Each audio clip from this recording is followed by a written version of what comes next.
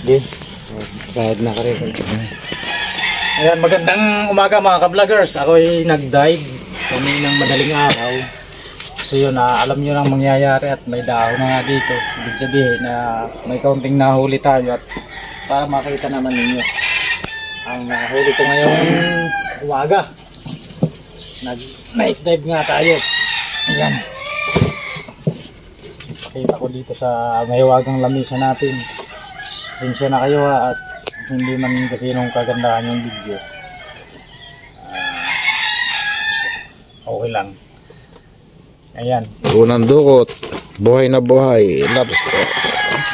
Meron tayong banagan.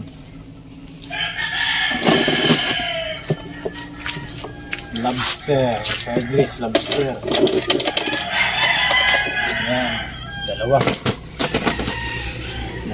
Banagan.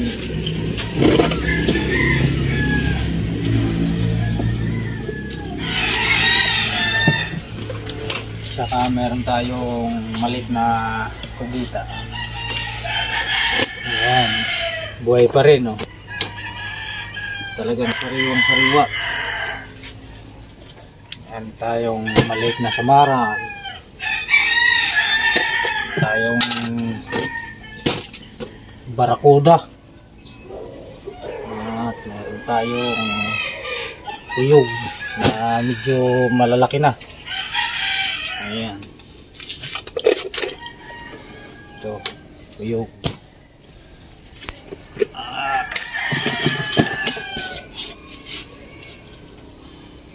Ayan. Ano? Ito ay ang sariwa na buhay pa. nalukso pa eh. Oo. Yan ang sariwa.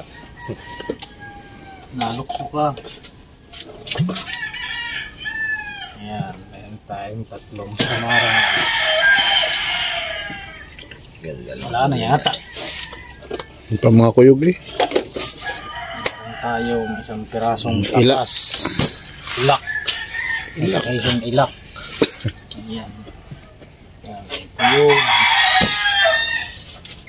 Tayo maliit na pusit. Dito ka sa kugita. Tayong maliliit na isda. Anong tawag dito sa ganito? Helicopter. Ayan. Yan ang masarap. Ang dami yan. Yan, dami na sa gabi. Yan sasabi ko siya masarap. Eh, huli mo tsaka yung kuha na yan. Magkakasama yan. Ma- ano yan? Sama-sama. Mm. Isdang goreng kung tawagin sa Batangas. Yan, lalaki ng kuyog oh. Kakaroon sa mara na. Ah, tangslaw. Parang wala na.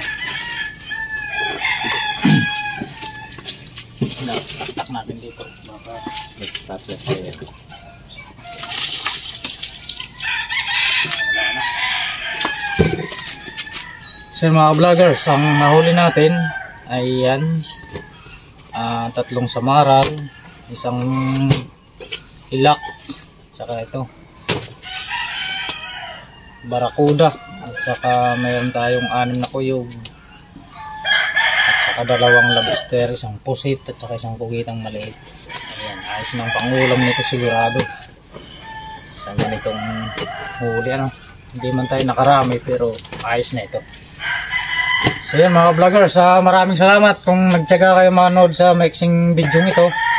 Ah, pasensya na kayo ulit sa munting video nga itong nasa lamesa lang lagi na nakikita ninyo ano, kasi wala pa nga akong camera sa pang tubig. Kaya yun, ah, dito lang sa mahiwagang lamesa ninyo nakakita ang aking huli ano. So yun, hanggang dito muna ang vlog na ito. See you next vlog.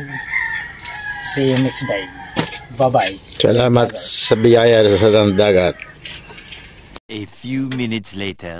Mga ka-vloggers, ah, subukan natin kiluhin itong tapas sa maral.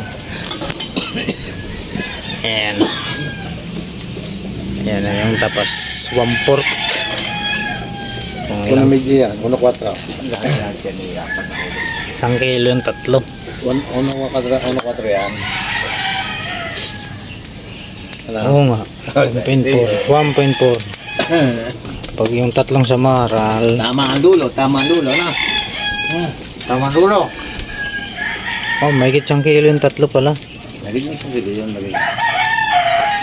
Bahay. Kanino? Hmm, 300. Nasa 300 na yan. Ito kasama na ito sa ano, at malaking ano. Oo, oh, yan ang presyo. Magpapapareho yan. Dalawang kilo mahigit ang ating isda. Hindi na kasi eh.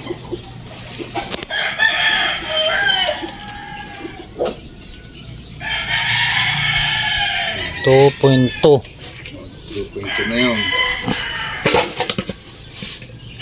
Ganda pa gaya ng huli. Sa 300 na lang 350 Jay sama mo yan. Sama ano mo rin kabila wow. Anong naguhit 2.2 yun eh 3.4 Ibang pugita. Diba? Ano ba yung banagaan? Isang kilo mahigit. Tatlo na pa lang. Wala, wala pa. Two point two. Ay, Two Kuya point, ni 2 point, ano ba yun? 2.2. wala pang apat na kilo. 3.4. Ay, sino nasa apat na? Apat na, pati yung Pugita. Nasa apat. Ano naman stand yun? Baba, nalukso pa oh. Gusto pa, oh. Akin ng lobster. Ah. Ano naman binubulong mo? Alain. Nakakapit pa. Ngayon, ang ito, itong kugita sigurado 140 ito. Ba, apat na guhit. Ate mo yun. Malapit magkakalating kilo eh. Mahaba kasi ang kaway niyan eh.